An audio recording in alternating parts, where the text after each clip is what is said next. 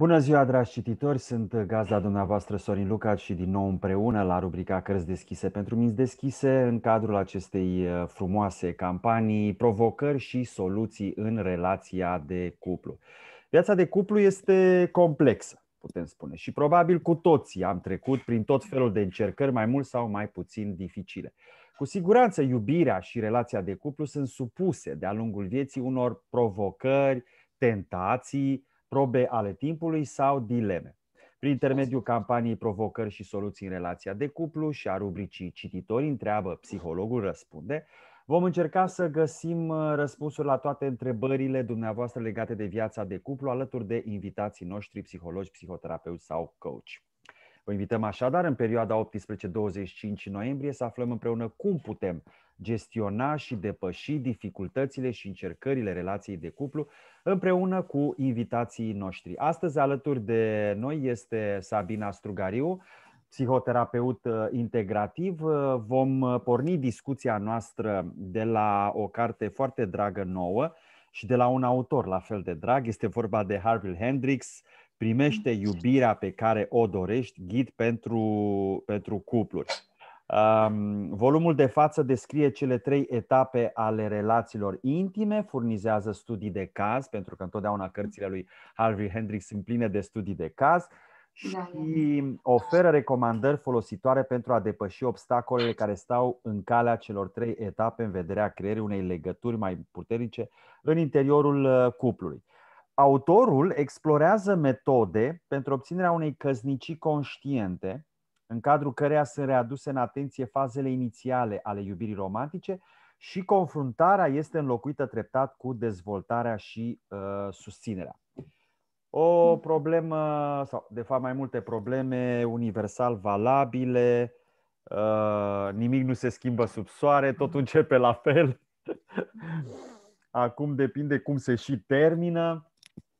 Pentru că... Și până se termină e și cum continuă și se desfășoară. Că exact. Între început și sfârșit, care de fapt sunt părți foarte restrânse ale unei relații, ce se întâmplă în cadrul relației este foarte important.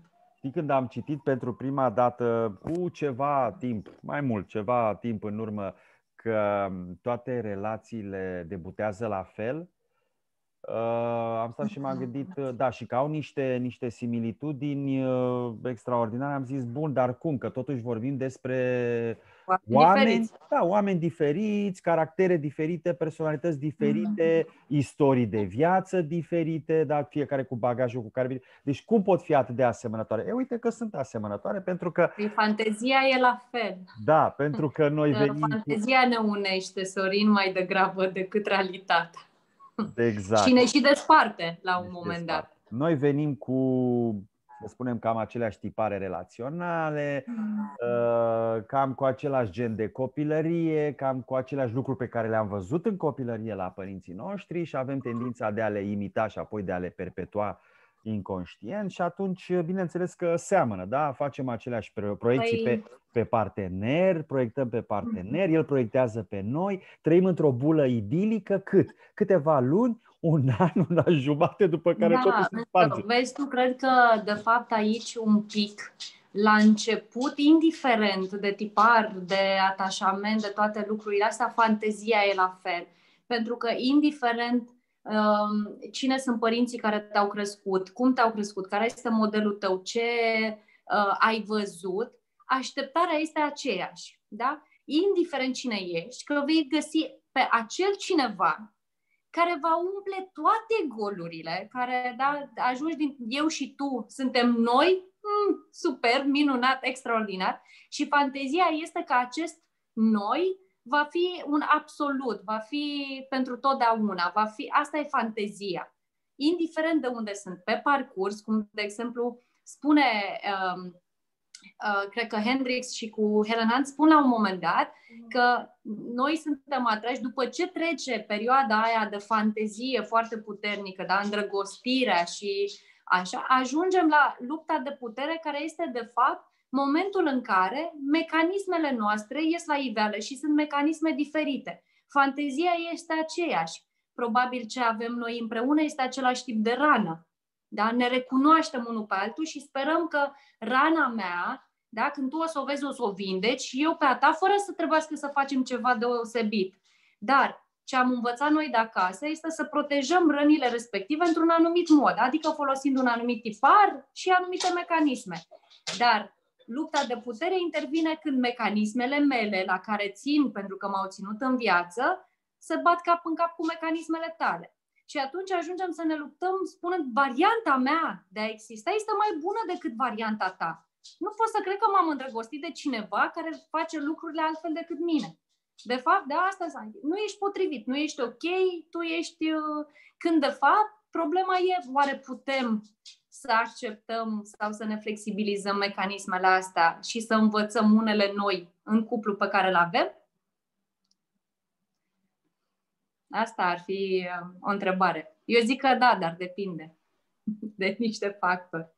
Bun, revenind la Harville Hendrix și la cartea Primește iubirea pe care o dorești, o carte publicată în colecția PAS în 2 uh, a editurii Herald, uh, el vorbește despre teoria și despre terapia imago mm-hmm. și în urma studiilor de caz pe care le-a avut, pentru că și el are o istorie de viață interesantă. Dacă nu mă înșală pe mine memoria, uh, când vorbim despre el, vorbim de a doua căsnicie, nu? Așa, da. deci o căsnicie nereușită prima, după care a doua. A doua, iarăși, cu, cu multe încercări și cu multe. Nu știu dacă prima a fost nereușită, că Cred că dacă a reușit să facă ceva, uite, a reușit să-l provoace, să gândească o teorie despre relații. Probabil că dacă ar fi fost reușită, n-am fi vorbit s-ar mai fi exact. despre cărțile lui. Da, da, corect, corect, corect. Bine. E, deci e o reușită și acolo undeva. E o reușită și acolo. Eu mm-hmm. spuneam nereușită din alte Uh, Din faptul că nu a fost cu final fericit. Exact, exact. Așa mm-hmm. cum ne propunem de altfel toți uh, la începutul mm-hmm. relației, acel frumos și au trăit fericiți până la tânci bătrâneți. Da. Și într-adevăr a avut o căsnicie chiar și a doua cu dificultăți și cu probleme. Probabil că și uh, Uh, pasiunea comună cu soția lui a contat foarte mm-hmm. mult, amândoi fiind la bază tot uh, uh, psihologi. Și au dezvoltat, au fost și în România în 2015, mm-hmm. au dezvoltat această teorie care se pare că a revoluționat așa un pic tot ce înseamnă relațiile de cuplu și zona aceasta a relațiilor de cuplu, în ideea în care are trei elemente uh, esențiale, aș spune eu, și e bine să le amintim sau să le reamintim. Uh, oglindire. Asta este, are un element. Un element. Este împărțit în trei. În trei. Este dialogul, că dialogul. pe asta, adică dialogul, dialogul este elementul principal, că noi plecăm de la ideea că nu peste tot a ajuns să fie așa un truism și un clișeu că toată lumea spune comunicare, că Corect, e comunicarea este importantă. Și ce au adus ei foarte important este cum. Comunicarea, ok, comunicarea, dar cum uh, ar uh, fi sănătos și eficient să fie această comunicare, astfel încât noi să simțim că nevoile noastre sunt împlinite, recunoscute de celălalt și cumva validate. Dialogul imago. Dialogul imago. Deci, uh, ce aveam? Oglindire, Oglindire, validare, empatie, validare. Empatie, validare. Da? Mm-hmm. Și există un uh, dialog uh, între cei doi parteneri în care fiecare reușește să să reconfirme spusele celuilalt. Un lucru foarte important, mm. pentru că de cele mai multe ori uh, noi în relațiile de cuplu mm. ajungem de fapt să-l auzim pe celălalt și el să ne audă pe noi, mm. da? dar ca un soi de bruiaș. Și pe chestia asta aș insista, pentru că uh, ascultarea, de fapt, pe lângă ce ai spus tu mai devreme, o bună comunicare, și aici, de fapt, ce înseamnă comunicare, că pentru, pentru unul comunicare înseamnă ceva, s-ar putea ca pentru altul comunicare să însemne altceva. Cum găsesc ei limbajul comun Și uite, și ascultarea până la urmă face parte tot din comunicare. Cât este de important? O, da, și este, cred că 70% din comunicare, că degeaba ai tu ceva să comunici cuiva dacă nu ai ascultător, dacă exact, nu aude. Exact, exact. Și degeaba îți spune cineva ceva, dacă tu nu ești dispus să asculți, nu ai disponibilitatea necesară, acea comunicare nu va avea loc, indiferent cât de important este mesajul tău. Și îl mai duci și pe celălalt în, în uh, eroare. Pentru că de mm. cele mai multe ori un uh, partener îți vorbește mm. sau tu îi vorbești, da? Și tu îi spui lui, da, da, da, stai liniștit, te ascult. Sau stai liniștit, te ascult. Da, uite, mă vezi, sunt, sunt aici, eu, eu, eu aud. Mm. Dar acel aud uh, nu mm. este, este fals, pentru că dacă, dacă îl rogi după două minute sau după trei minute să reproducă în tocmai ceea ce, ceea ce ai spus tu, el nu mai nu reușește. Mm-hmm.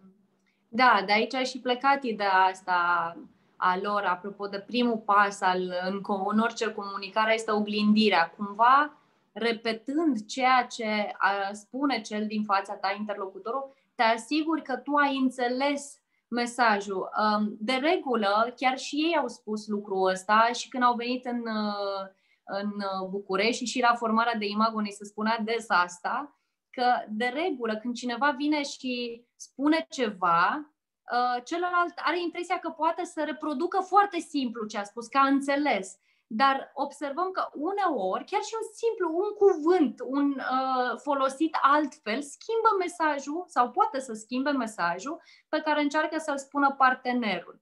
Și a oglindi înseamnă, de fapt, să-i creăm spațiu celuilalt să spună și să se arate exact așa cum este, cum gândește, ce dorințe are și înainte de a interveni cu părerea ta, cu uh, emoția ta despre ce spune celălalt, să te asiguri că ai înțeles și ai luat lucrurile exact așa cum au fost spuse. De foarte multe ori uh, am observat și în terapie, în, cu, dar n-am vrut să spun asta. Nu mai înțeles. Păi da, dar n-ai spus asta și spune exact, a, păi nu, fii atent, eu am spus de fapt, a, păi și de ce n-ai spus așa? Păi așa am spus. Doar că tu ai auzit altfel datorită faptului că erai deja pregătit să-mi răspunzi sau uh, pentru că tiparul tău în, da, în uh, mediul din care provii sau în familia ta a spune un anumit lucru însemna ceva. Iar eu ți-l spun cu totul altfel. Însă așteptarea ta este, sau încărcătura pe care tu o dai, acestui cuvânt pe care l-am folosit eu, este cel cu care ești tu obișnuit. Da? Și cumva, uh, deși pare ridicol, știi că nu stai și te gândești că într-o conversație, cum suntem noi acum, eu să repet fiecare lucru pe care îl spui tu, tu să repeți fiecare lucru pe care îl spun eu, pe lângă faptul că s-ar lungi la nesfârșit, ar părea așa, zice, bine, dar suntem papagali, repetăm doar. Însă, uh, atunci când nu avem obiceiul de a cere feedback, dacă am înțeles sau dacă ceea ce a spus persoana din fața noastră chiar este ceea ce vrea să spună, uh, ajungem să considerăm că înțelegem lucrurile mult mai mult decât le înțelegem și nu ne dăm nici măcar timpul ăla puțin. Știi, să vedem, ok, dar poți să repeți, mai spune-mi odată ce ai spus. Fii atentă. Ridic o problemă. Mm. Poate fi și o întrebare. Așa. Uh, cu care e posibil să se confrunte și alți, nu știu, parteneri în uh, relații de cuplu. Ce facem? O problemă foarte stringentă. Ce mm. facem, apropo de tot ce da. ai spus tu până acum, cu interpretarea mesajelor? Și am să-ți dau un exemplu. Vine partenerul și îți spune un lucru. Da? El ți-l spune. Mm-hmm tu l-ai ascultat, l-ai auzit, nu numai doar că l-ai auzit, l-ai, l-ai ascultat și ai, ai auzit uh, mesajul. Și se poate întâmpla ca după o perioadă de timp, și eu cred că de fapt asta se întâmplă, mm-hmm. după o scurtă perioadă de timp, poate fi, nu știu, o oră, câteva ore sau poate chiar o zi, uh, partenerul să-și schimbe poziția în legătură cu acel mesaj. Chiar lui chiar lui acel mesaj să nu-i convină faptul că l-a spus. Mhm. Și atunci să încerce cumva să să schimbe ceva la el. Și vine următoarea uh, întrebare. Sau, de fapt, nu întrebare, afirmație. Nu ai înțeles tu bine, interpretezi cum vrei tu.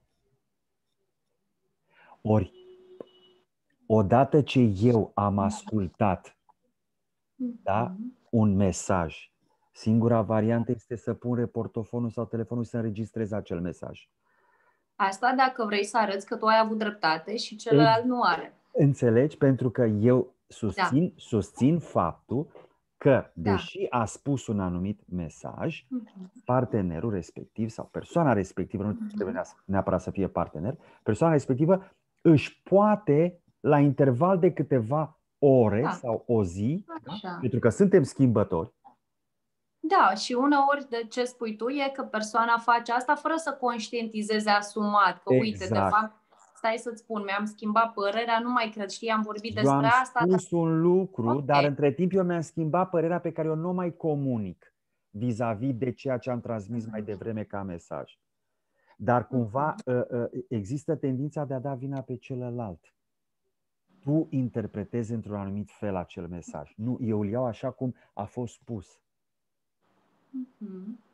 Păi și aici putem să vorbim despre, adică e tot despre a rămâne în prezent și ce ok, acum că, da, tu ai impresia sau părerea ta este că eu am interpretat acest mesaj. Hai să vorbim despre mesajul ăsta, adică ce se întâmplă acum cu faptul că celălalt și-a schimbat părerea, cum influențează asta ce se va întâmpla de acum înainte, că deja mesajul celălalt nu mai e, da? nu mai e valabil. Dar să zicem că unul dintre parteneri consideră că gata, merge înainte cu mesajul pe care l-a primit acum câteva ore și celălalt partener nu mai consideră că nu mai e valabil mesajul ăla. Și atunci, din nou, este hai să vedem ce s-a întâmplat, unde s-a produs între ce spui tu acum și ce am înțeles eu, unde s-a produs ruptura. Pentru că dacă uh, căutăm vinovați, o să găsim un vinovat. Herville Hendrix și cu Helen Hunt spun așa, că oamenii evită conflictele, dar conflictele sunt de fapt încercarea de schimbare. Da? Nu există schimbare fără conflict. Dacă tu ești ocupat să mă acuzi pe mine și eu în rând, la rândul meu fie să mă apăr, fie să încerc să-ți arăt că tu greșești, vom căuta vinovați, nu vom încerca să reparăm ce s-a întâmplat. Iar dacă tiparul ăsta se repetă la nesfârșit, se va produce o ruptură în care de fiecare dată când ceva negativ se întâmplă la noi în relație, noi nu ne vom concentra atenția pe a repara relația, ci pe cine este vinovat, pentru că mintea spune, da, dacă tu ești vinovat, asta înseamnă că tu trebuie să schimbi ceva, tu trebuie să faci ceva, este vina ta. Dacă eu sunt vinovat, pot să zic, auleo, și să, vai, vina mea, și să mă simt vinovat, dar să intru în victimizare, Corect. Sau să evit discuția după aia, sau din cauza că mă simt vinovat și rușinat, să dau vina tot pe tine, că mă faci să mă simt vinovat și rușinat. Și acest cerc vicios continuă în cupluri, uneori, cum zic și, mă rog, uh, Gottman, uh, soții Gottman, care are, sunt un cuplu care lucrează foarte mult pe de zic, aceste lucruri pot să continue chiar. la nesfârșit. Da. Scuze. Da, uh, într-adevăr, uh, e un punct, uh, aș spune, foarte sensibil în ceea ce înseamnă dialogul dintre, dintre parteneri, felul în care spunem mesajele și felul în care mesajul nostru ajunge la celălalt și dacă lasă sau nu lasă loc de, de interpretări. Întorcându-ne Aș vrea la... să mai adaug ceva aici, uite, apropo de ceea ce spui și de cum am început să vorbim, știi, despre fantezie. Uh, Cred că unul dintre motivele pentru care noi căutăm vinovați este că majoritatea oamenilor intră în relații considerând că faza de început a relației este relația. Că faza, da, îndrăgosteala, lucrurile pe care le avem în comun, atenția pe lucrurile care ne unesc, care așa, ele sunt cum va fi relația. În momentul în care fantezia începe să lase loc realității și observăm că există și diferențe între noi, rezistența, dezamăgirea se transformă în furie și frustrare. Și atunci încep să cauți vinovați pentru că ți-e greu să accepti că a dispărut fantezia. Pentru că mintea noastră, da, și toate filmele la care sau cu care suntem bombardați, în general, prezintă această uh, fantezie care poate să dureze la nesfârșit. Promisiunea asta de iubire eternă, de pace eternă, de nimic, totul este, da, ne mai, uh, cum să zic, putem să avem dificultăți, dar asta până când recunoaștem și totul, gata, ne asumăm să fim într-o relație și când am zis suntem împreună, o să fie lin. Dar nu e în momentul în care fantezia dispare și ea va dispărea la un moment dat. Pentru că va lăsa loc unei, uh, cum spun Herville și cu Helen Hunt, că va lăsa loc unei relații mai mature, unei iubiri care e da, menită să uh, nu fie numai uh, despre fluturi și pasiune, e despre a crește împreună, a ne susține unul pe celălalt, a putea să fim prezenți cu rănile noastre. Când suntem în fantezie, nu există răni, există ce bine o să ne fie. Sau există ce, sau există ce bun sau ce bună sunt eu. Ia mm. uite ce de calități am, ia uite ce de, știi? Pentru că e faza aia de început. Da, da. Dar e. N-ar, uh, uh, mitul acesta n-ar trebui demontat? Mitul, mă refer la mitul, mitul, da, cu care de altfel mulți oameni trăiesc și mai ales uh, persoanele de sex feminin. Ah. Ajunse, na, știu, na, dacă a sunat aiurea, cer iar. A sunat fix cum ai spus-o, Sorin. Da, atunci mi asum. Dar o mhm. spun în cunoștință de cauză, fiind înscris pe anumite grupuri unde văd, sunt mm. foarte multe doamne care spun că, domnule, iubirea înseamnă totul și dacă există iubire, ea este suficientă. Da? E, mhm. lucrurile nu sunt așa.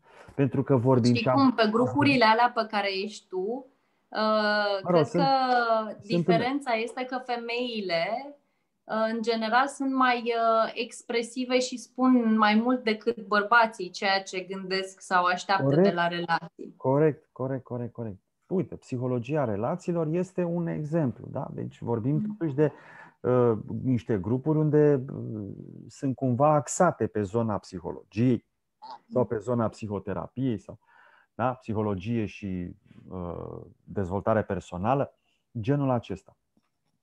Dar este până la urmă, mă gândesc, este un mit care trebuie demontat.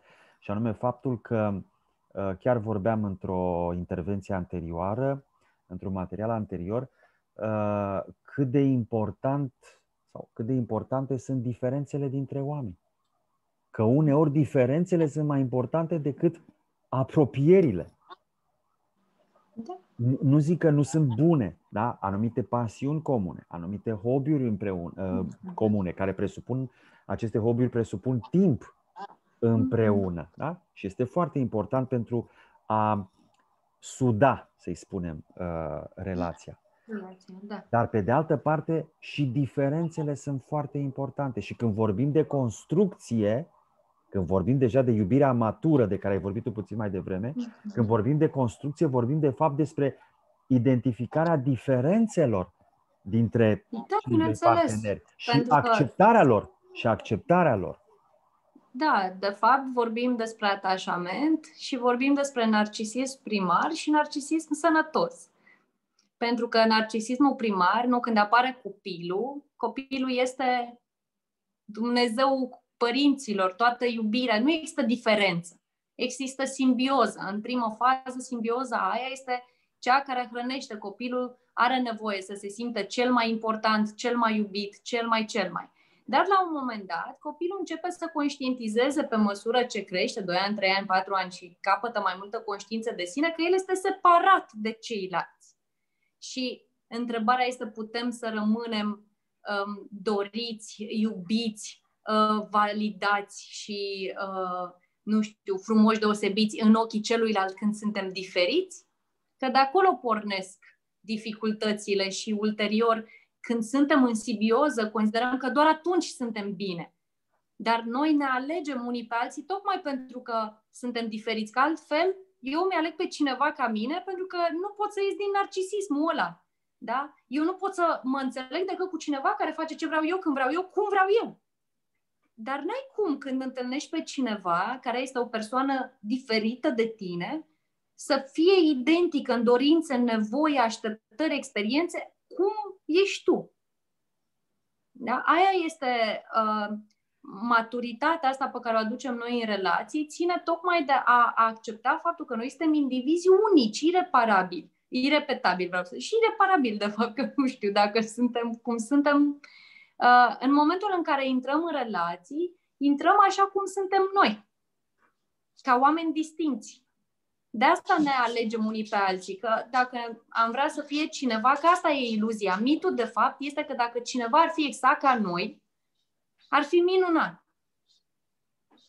Da, dar atunci am fi pur și simplu niște copii exact, ale noastre exact, mergând prin lume. Nu? Exact. Noi suntem atrași de oameni da? pentru că au ceva ce este numai al lor. Da? Ei nu pot să își clădească ceva numai a lor dacă stau în simbioză. Cum nici eu nu pot să mă dezvolt și să aduc ceva în relație dacă stau numai cu tine în coconul nostru acolo, nu se mai întâmplă nimic. Nimic nu intră, nimic nu iese. Corect. Da. Și când stai așa, da, lucrurile pot să fie bune o perioadă de timp, după care nevoia de a uh, vitaliza cuplu este destul de mare. Pentru că atunci când noi ne-am cunoscut și ne-am atras, nu știam nimic unul despre celălalt, conștient. Inconștientul mai știa câte ceva. Da, atracția aia puternică inconștientă spunea ceva. Dar conștient noi nu știam. Am aflat în timp, la un moment dat, aflăm toate lucrurile, și comune și necomune, trecem prin niște lucruri împreună și e ok, am descoperit. De acum, ce se mai întâmplă? Și cum negociem treaba asta, uh, diferențele, pentru că diferențele nu știu dacă neapărat sunt atât de importante, cât întrebarea este dacă diferențele respective sunt legate de lucruri fundamentale sau nu pentru fiecare dintre noi. Noi putem să avem diferențe între ce mâncăm la prânz, ce îmi place să fac în timpul liber, care sunt lucruri pe care le putem negocia, dar putem să avem diferențe în Um, ce ne dorim de la viață, dacă vrem să ne căsătorim sau nu vrem, uh, câte ore uh, consider eu că e ok să lipsesc de acasă sau nu, uh, vrem copii sau nu vrem copii, cum creștem copii, în ce religie, cum, care sunt lucruri fundamentale. Aceste diferențe sunt greu de negociat. Planuri, pentru că fac parte țeluri. din identitate. Uh-huh. Da? Și atunci, de fapt, nu este vorba despre Um, a accepta diferențele, ci despre a fi onești cu noi și astfel cu partenerul de cuplu în legătură cu care sunt valorile pe care nu suntem dispuși să le negociem. Alea sunt diferențele care contează. Majore. Și putem, da, putem să construim în jurul lor un spațiu comun, pentru că, iarăși, spațiu comun nu înseamnă că vom fi întotdeauna de acord, ci că avem un spațiu da? cât de uh, deschis sau de, nu știu, stabil ni-l creăm, în care fiecare poate să aducă cum vede lucrurile și să alegem ce rămâne în spațiul ăla și ce nu. Însă așteptarea ca ceea ce nu rămâne în spațiul ăla să nu mai existe deloc este nerealistă. Da? Ce aleg eu să aduc în spațiu comun, în cuplu, ține de noi doi, dar noi putem, am o individualitate, eu pot să fac lucruri în afara spațiului pe care nu le fac. Aia e ceva diferit. Putem să negociem lucrul ăsta, pot, am voie să fac lucrul ăsta? În afara, ce am voie să fac și aici? Iarăși diferențele sunt fundamentale sau nu sunt? Dacă una e, de exemplu, să spun, uh, eu am nevoie să ies cu prietenii sau cu prietenele, să avem o seară, să fiu, da, să nu mă gândesc la cuplu și alta e, am nevoie de altcineva. Eu mai vreau, adică vreau să am o altă relație pe lângă relația pe care o am eu. Da.